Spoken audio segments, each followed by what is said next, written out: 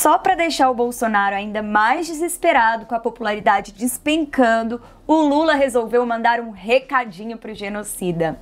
Quem vai passar a faixa para o próximo presidente é o povo brasileiro. O Lula mandou um recado para o Bolsonaro ontem em uma entrevista para a Rádio Jovem Pan de Sergipe, respondendo às constantes ameaças de Bolsonaro à legitimidade das eleições. Dá só uma olhada em um trechinho do vídeo. Ninguém quer pegar a faixa de você, Bolsonaro. Sabe quem vai derrotar você? O povo brasileiro.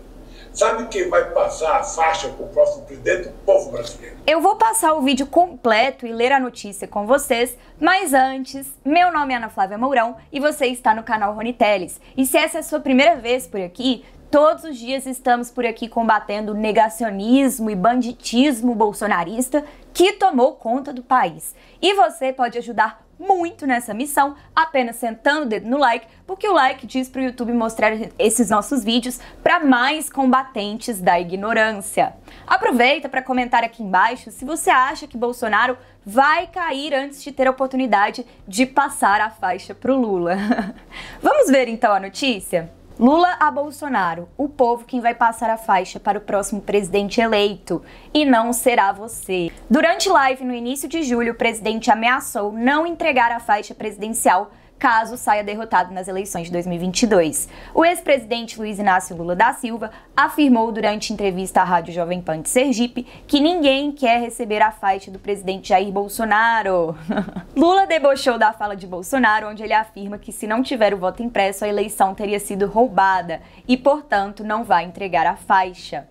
O povo e somente o povo é que vai dar um jeito. Aí o Bolsonaro fala: a lei do voto impresso, se não for impresso, eu fui roubado. E também, se eu perder, não vou entregar a faixa. A seguir, o ex-presidente completou que Bolsonaro será derrotado pelo povo e será ele quem vai passar a faixa para o próximo presidente. Ninguém quer receber a faixa de você, Bolsonaro.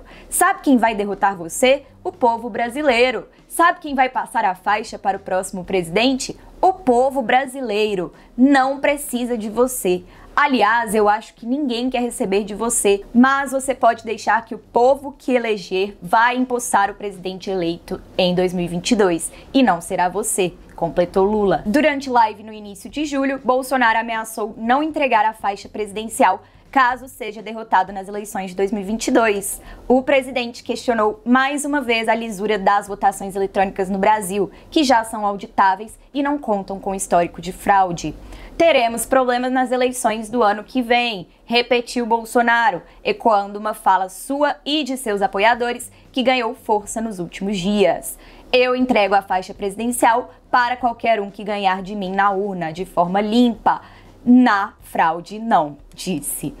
A fraude é toda dele, né, gente? A gente sabe que na verdade ele tá fazendo isso porque ele sabe que ele não vai ser eleito e que sem fraude, sem conseguir fraudar as eleições, ele não tem nenhuma chance. Vamos ver o vídeo do Lula completo? O povo, e somente o povo, é que vai dar um jeito. E aí o Bolsonaro fala, além do voto impresso, se não foi impresso, eu fui roubado, e também, se eu perder, eu não vou entregar a faixa. Ninguém quer pegar a faixa de você, Bolsonaro. Sabe quem vai derrotar você? O povo brasileiro.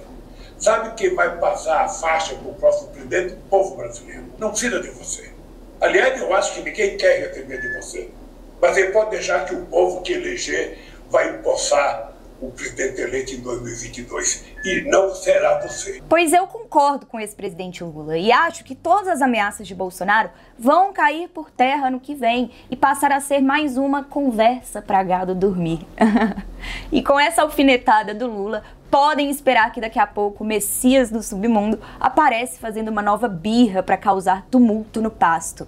Vamos aguardar e estaremos de olho. Enquanto isso, você pode sentar o dedo no like comentar aqui embaixo o que você achou do tapa de luvas do nosso ex-presidente e se inscrever e ativar o sininho se não for inscrito ainda. E um beijo, até a próxima!